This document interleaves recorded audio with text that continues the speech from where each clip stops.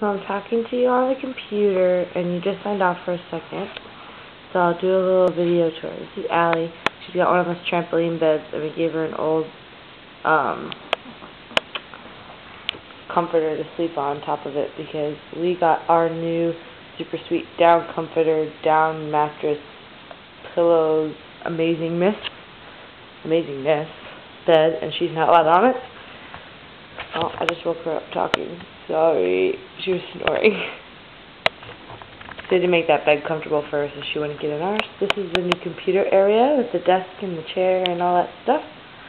This is American time up there. It's almost 9 p.m. your time.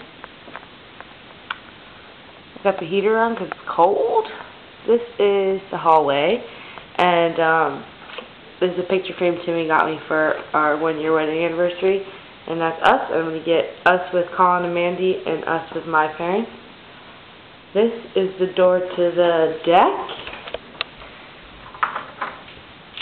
I'll unlock it.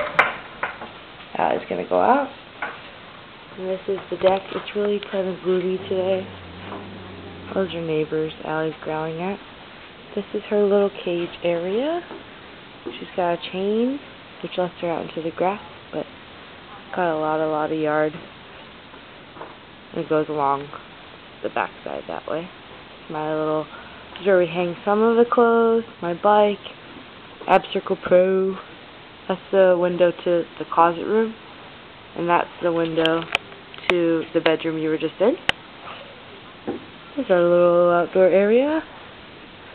Deck's quite large so it's real nice.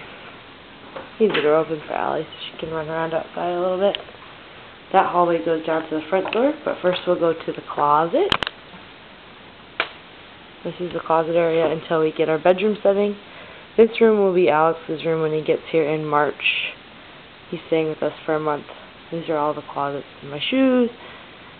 And our suitcases are serving as our drawers. And then behind the door hidden is the boxes and things like that and the fan, which we don't need right now because we need heaters because it's freezing. And it's quite chilly today too because